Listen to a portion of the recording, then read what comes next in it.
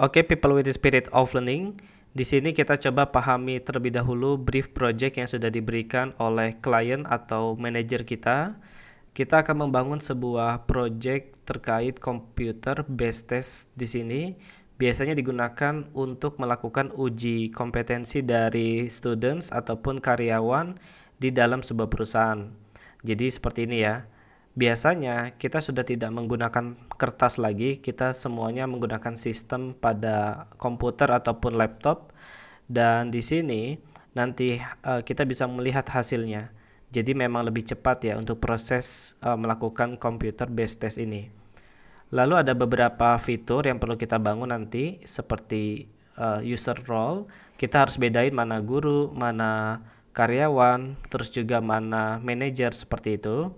Terus nanti kalau role-nya adalah seorang guru atau manajer, dia bisa bikin kelas atau subjek terbaru. Di dalamnya tuh banyak tesnya. Oke, berupa pertanyaan, pilihan ganda ya atau multiple uh, option choice. Nah, selanjutnya si manajer ataupun guru nanti bisa menambahkan murid kepada kelas atau subjek tertentu sehingga murid atau karyawan tersebut dapat mengikuti tes yang sudah diberikan karena biasanya beda murid, beda karyawan, beda subjek ya. Misalnya kamu bekerja sebagai UI UX berarti nanti subjeknya UX design seperti itu. Lalu ada beberapa fitur penting lainnya seperti di sini. Jadi bisa kita simpulkan bahwa brief dari proyeknya cukup jelas ya. Nanti kita tinggal proses development aja menggunakan Laravel agar lebih cepat dan juga mudah di maintenance. Dan di sini kebetulan uh, dari desainer mereka juga sudah menyediakan sebuah user flow seperti ini ya. Jadi biasanya klien kalau punya desainer mereka sudah bikin user flow juga. Nanti teacher bisa nambahin kelas baru, mengatur data-data kelas, menambahkan student atau karyawan kepada kelas atau subjek tersebut, membuat pertanyaan baru dan juga sebagainya. Bahkan di sini student juga bisa login, bisa daftar akun dulu lalu login. Setelah itu dia akan mengerjakan beberapa tes yang udah diberikan oleh atasannya, misalnya guru atau manajer seperti ini. Nanti bisa kelihatan oh ternyata si student ini atau karyawan ini nggak lolos, nanti dia bisa menghubungi manajer atau teacher seperti itu ya. Jadi sebenarnya aplikasi yang kita bangun ini bukan buat cuma sekolah doang, tapi bisa diimplementasi ke beberapa proyek lainnya seperti perusahaan atau organisasi lainnya seperti itu.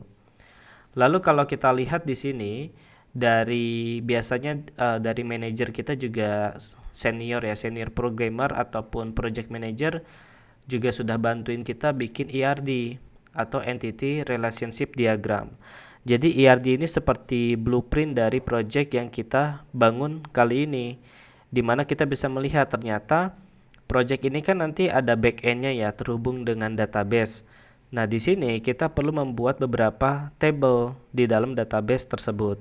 Jadi di sini ada table pengguna, terus juga ada di, uh, di sini ada kategori, ada table course ya atau subjek lainnya, terus juga ada jawaban uh, dari si ini uh, student tersebut ataupun karyawan tersebut lalu juga ada kira-kira di subjek atau kelas tersebut siapa aja sih karyawan atau studentnya yang mengikuti subjek tersebut? Itu semua kelihatan di sini. Jadi tanpa ada blueprint seperti ini nanti kita ketika proses penyimpanan data tuh agak bingung ya. Bahkan kalau nggak ada user flow juga cukup membingungkan. Jadi ketika membangun project yang perlu kita miliki adalah briefnya seperti apa goalnya seperti apa Lalu kita biasanya minta user flow dari tim designer seperti ini. Dari user flow baru kita bikin ERD seperti ini. Jadi nanti ke depannya ketika kita bikin relationship antara table itu lebih mudah lagi karena kita punya bayangan besar ya. Kalau nggak ada ERD kita bingung kira-kira kita bikin table apa ya. Terus dari table ini punya hubungan di tab, uh, ke table mana lagi ya seperti itu. Nah, buat teman-teman yang mau belajar ERD, silahkan mengikuti kelas saya di website bitwithangga.com. Kalian cari aja uh, eh, ERD seperti ini ya.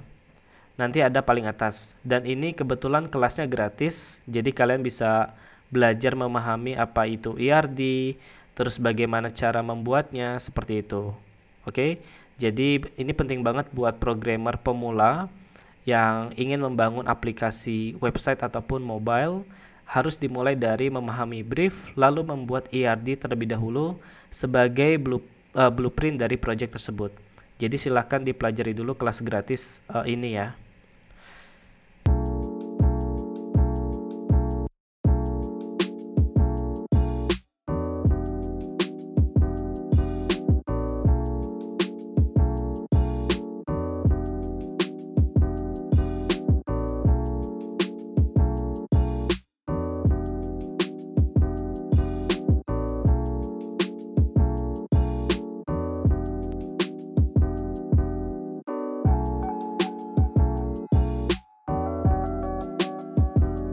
Oke okay, people with the spirit of learning, begitulah pembelajaran untuk kali ini. Jika kalian mengalami sebuah kendala dalam belajar, mari kita diskusi langsung pada grup yang telah saya sediakan untuk kelas ini. Dan apabila kalian belum bergabung pada grup diskusi, silakan menghubungi pihak BWA untuk mengundang kalian kepada grup tersebut dan kita bisa mulai berdiskusi. Oke okay, people with the spirit of learning, mari kita lanjutkan pembelajarannya.